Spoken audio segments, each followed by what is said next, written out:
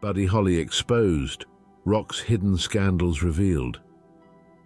Beyond the music, beyond the legend, there was a man named Buddy Holly whose life was filled with more twists, turns and tender moments than any song could capture. Join us as we unveil the hidden chapters of Buddy Holly's life in today's Freaky Facts, History's Oddities episode.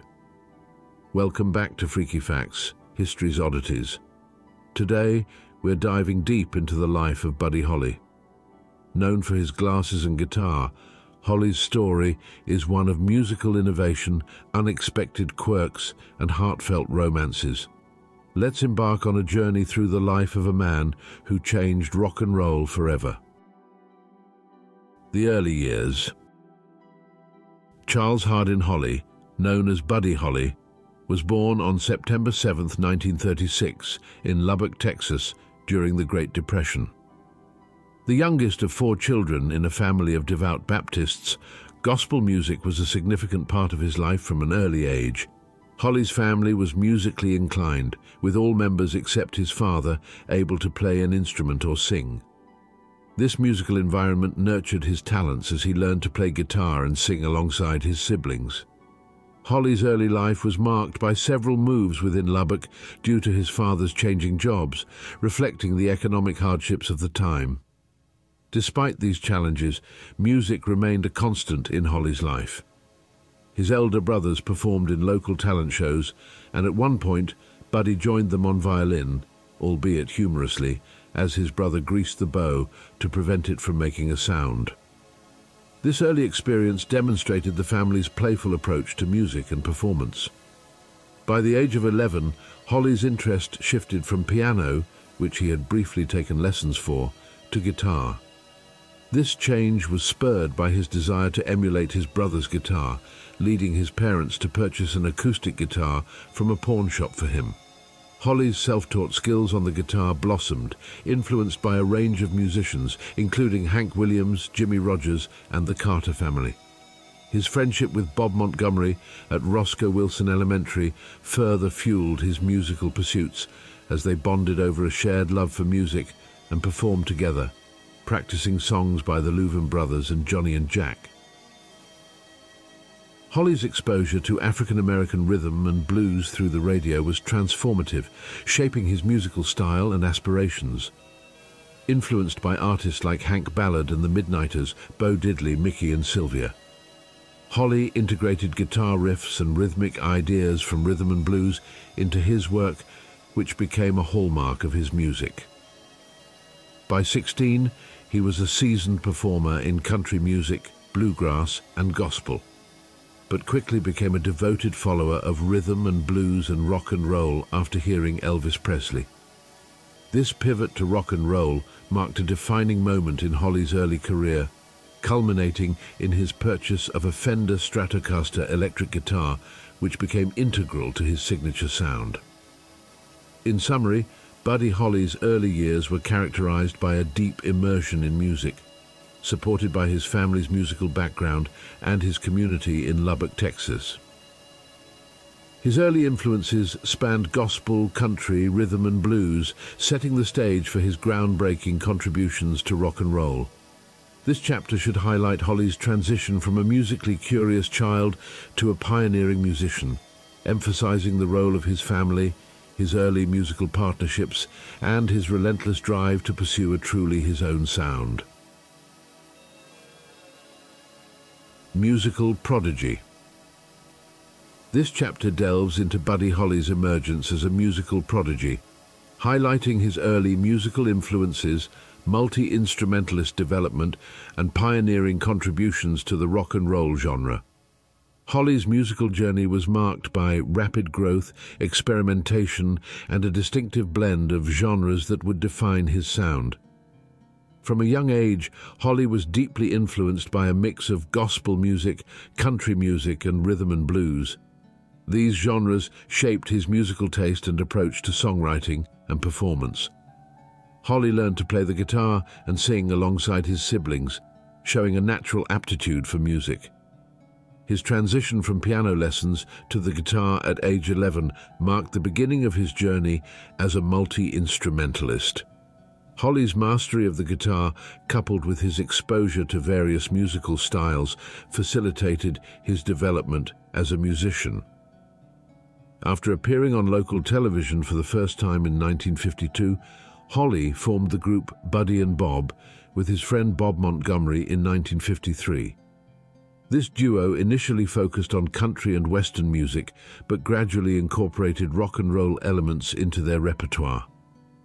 A pivotal moment in Holly's career was opening for Elvis Presley in 1955, inspiring him to embrace rock and roll fully. His music and performances reflected this shift, leading to significant changes in his band's style and composition. Holly's talent and unique sound caught the attention of Nashville scout Eddie Crandall, leading to a contract with Decca Records. However, his collaboration with producer Norman Petty and the subsequent recording of That'll Be the Day marked the beginning of Holly's success in the music industry. The song's release under the band name The Crickets catapulted Holly to fame, followed by other major hits like Peggy Sue. Buddy Holly's blend of country rhythm and blues and rock and roll highlighted his musical versatility and contributed to the evolution of rock music. His use of the traditional rock and roll lineup of two guitars, bass and drums set a standard for future rock bands. Holly's influence extended to numerous artists, including Bob Dylan, the Beatles and the Rolling Stones, underscoring his lasting impact on the music world. Harmonizing Innovations, the genesis of the Crickets. We begin with their inception in Lubbock, Texas by Buddy Holly and J.I. Allison, with bassist Joe B. Mauldin joining shortly after that. The Crickets were a pioneering rock and roll band, notable for their self-sufficiency in writing, playing, producing and recording their material a rarity at the time. They were among the first to use overdubbing and multi-track recording, techniques that would later become standard in music production. Their formation marked the beginning of a new era in rock music, making rock and roll accessible and inspiring countless musicians worldwide, including the Beatles, whose name was influenced by the Crickets. The band's initial success came with the release of That'll Be the Day in June 1957, leading to a series of hits that established them as the leading rock and roll band. In late 1958, Buddy Holly moved to New York to delve into the music business, causing a shift in the band's lineup. Allison and Mauldin continued as the Crickets, welcoming Sonny Curtis as the lead guitarist and vocalist. This lineup change did not hinder their creativity or success.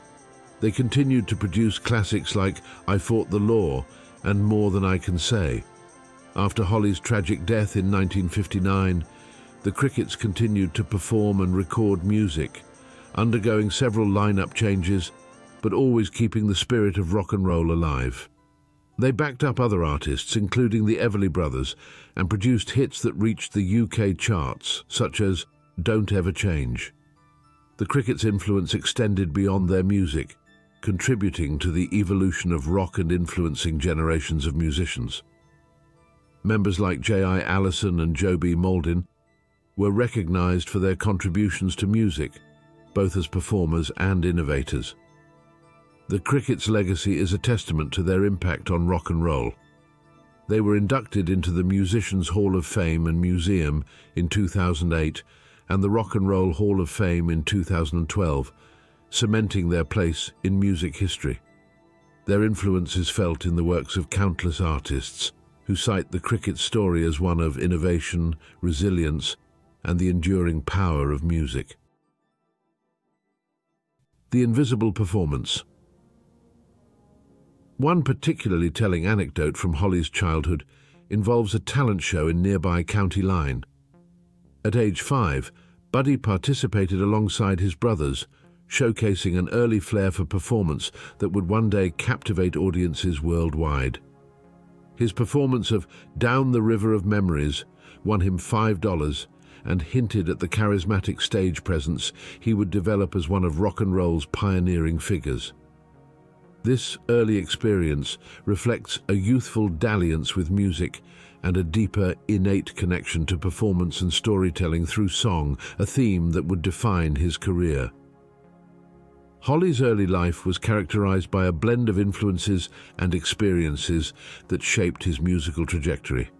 His family, particularly his mother and siblings, played a crucial role in his musical education, encouraging his talents from a young age. Despite his father's absence of musical inclination, the household was one where music was cherished and pursued with vigor. Holly's transition from piano to guitar driven by self-taught efforts and a deep-seated passion for music, underscores the independent spirit and dedication that would mark his contributions to rock and roll. During his school years, his duo with Bob Montgomery further solidified his path toward musical innovation, blending country roots with what would soon be recognized as the rock and roll genre. This chapter highlights the origins of Buddy Holly's musical genius, tracing back to a childhood filled with creativity, support, and early signs of the legendary performer he was to become. The invisible performance of his youth, be it in a talent show or the informal jam sessions with Montgomery, served as the foundation upon which Holly built a career that forever changed the music landscape. Through these stories, we gain insight into the depth of Holly's artistry and indelible mark on music and culture. Adventurous Spirit Though predominantly celebrated for his groundbreaking contributions to rock and roll, Buddy Holly's life was rich with activities showcasing his love for the outdoors and the arts. An autobiographical essay from his high school years reveals Holly as someone who cherished a variety of hobbies, including hunting, fishing, leatherwork, reading, painting and playing Western music. This eclectic range of interests suggests Holly's appreciation for nature's tranquility and the personal satisfaction derived from creating with his hands, whether through music or other art forms. Holly's inclination towards outdoor activities such as hunting and fishing reflects a common pastime in his native Texas, offering moments of peace and a connection to the environment. Meanwhile, his engagement in leatherwork and painting indicates a creative spirit not limited to musical expression, exploring other mediums to convey his artistic vision. Including reading as a hobby also speaks to Holly's intellectual curiosity a trait that likely informed his lyrical content and the stories he told through his songs. Moreover, Holly's journey into rock and roll was marked by a significant moment of inspiration during an Elvis Presley concert in Lubbock in early 1955. The charisma and the new, exciting sound of Elvis profoundly influenced Holly, cementing his transition from country music to the rock genre. This pivotal experience underlines Holly's adventurous spirit in music, as he was always seeking to evolve and incorporate diverse influences into his sound, moving towards the synthesis of musical styles that defined early rock and roll. Iconic Glasses The story of Buddy Holly's signature eyewear is a fascinating journey from necessity to iconic status. Buddy Holly, born Charles Hardin Holly, struggled with severe nearsightedness, having a vision of 2800 in both eyes, making it difficult for him to see even the top line of an eye chart. Initially, Holly was apprehensive about wearing glasses, fearing they would hinder his rock and roll image. However, a pivotal moment during a performance, when he dropped his guitar pick and had to search for it on stage, convinced him of the necessity of wearing glasses during performances. His optometrist facilitated Holly's transition to wearing glasses, Dr. J. Davis Armistead. Despite Holly's initial desire for inconspicuous frames, Dr. Armistead found the perfect pair of thick, black-framed glasses during a vacation in Mexico City. These glasses helped Holly see and became a defining part of his look, contributing to a geek-chic style that made it possible to be both a nerd and a rock star. The glasses Holly wore were lost in the snow following the tragic plane crash that took his life in 1959 and were not found until 1980 by Sheriff Jerry Allen in a courthouse basement.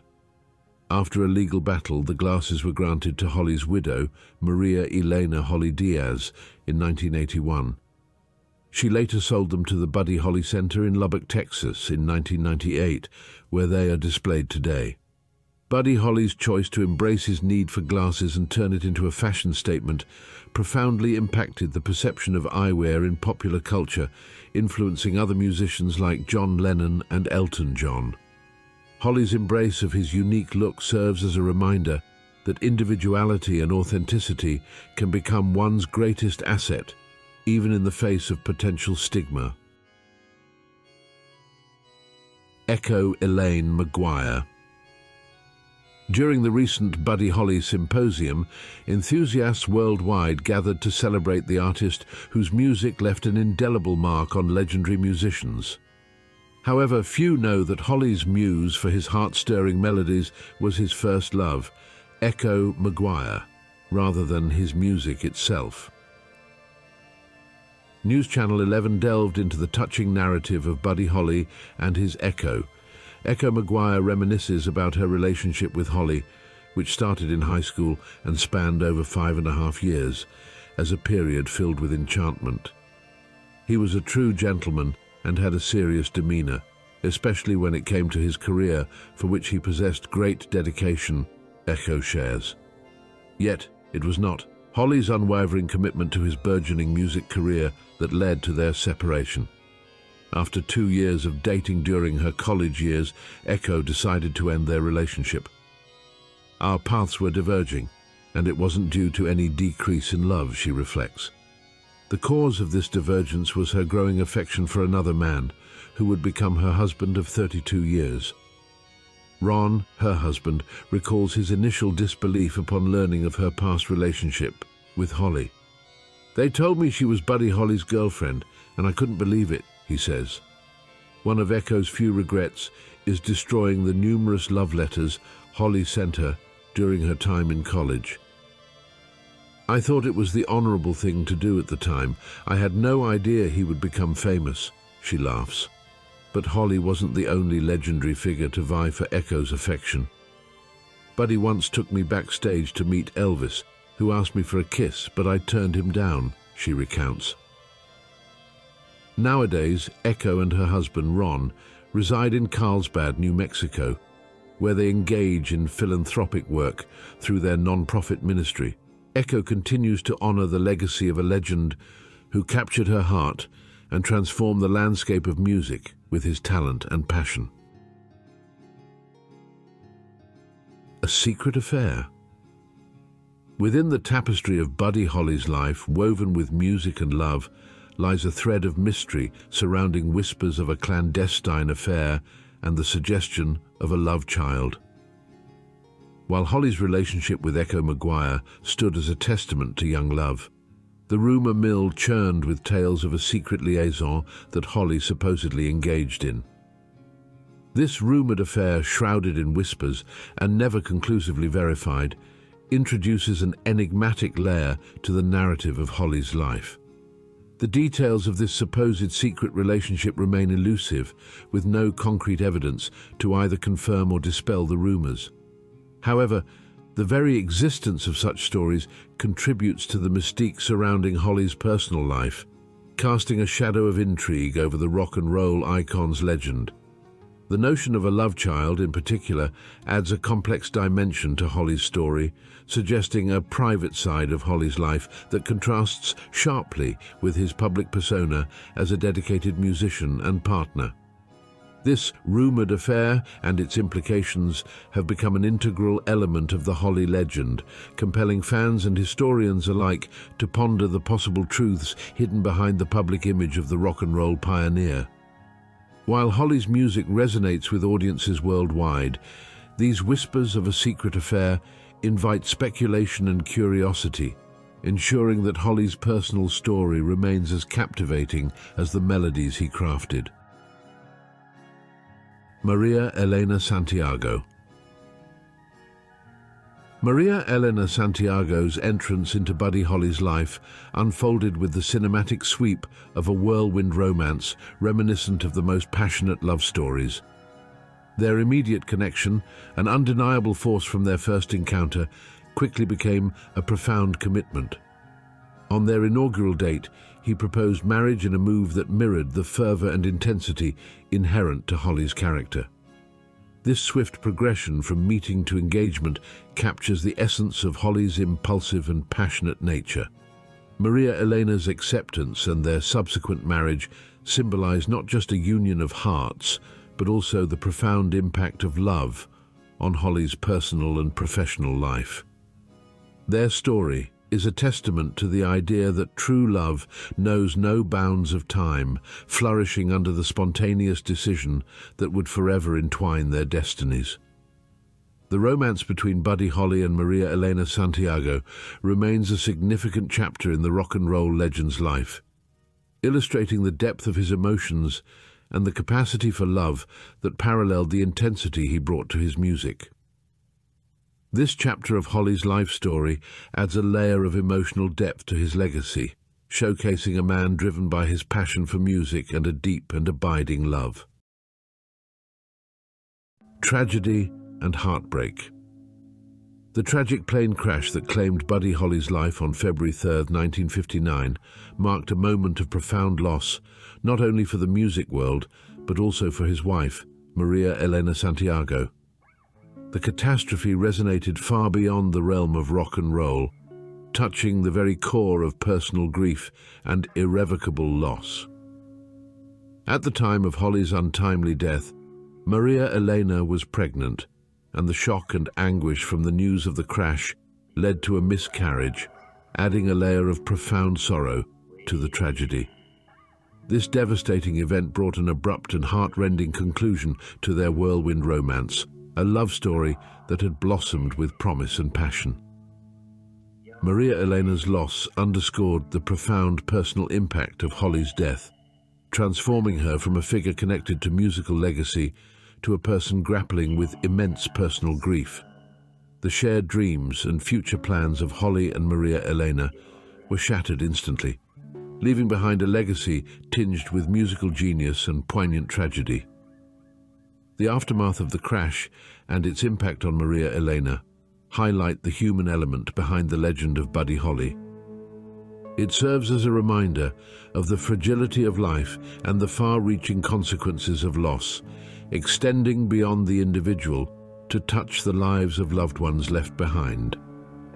This chapter in Holly's story is a testament to the enduring strength of love amidst tragedy and the lasting heartbreak that follows untimely loss. Preserving the legacy. Following the tragic demise of Buddy Holly, Maria Elena Santiago embraced the custodian role for his profound legacy. Her unwavering commitment to safeguarding his musical contributions and their shared love story was pivotal in ensuring that Holly's influence endured within the annals of rock and roll history. Maria Elena's efforts to memorialize Holly transcended mere preservation. They served as a testament to their enduring bond and Holly's indelible impact on music and culture. Maria Elena worked diligently to keep Holly's spirit alive by establishing memorials, organizing tribute concerts, and carefully managing his musical catalogue. Her endeavors allowed Holly's pioneering sound and the story of their love to continue resonating with audiences, bridging the gap between past and present. Her dedication ensured that Holly's legacy survived and flourished, captivating new generations of fans and musicians inspired by his life and work. Maria Elena's role in preserving Holly's legacy highlights the power of love and dedication to transcend loss ensuring that the magic of Holly's music and his contributions to the music world remain inspiring. Through her efforts, Buddy Holly continues to be celebrated as a beloved figure in rock and roll history. His songs are testament to the talent that left an indelible mark on the world. Buddy Holly's life was a vibrant mosaic of musical brilliance, personal quirks, and deep emotional connections. His story goes beyond the music, revealing a man who lived passionately and loved deeply. As we close this chapter of Freaky Facts, History's Oddities, we remember Buddy Holly not just as a rock and roll icon, but as a man with a story as captivating as his songs. If you've enjoyed this deep dive into the life of Buddy Holly, please like, share and subscribe to Freaky Facts, History's Oddities. Do you have a historical figure whose hidden stories you'd like us to explore? Let us know in the comments below. Until next time, keep uncovering the oddities of history.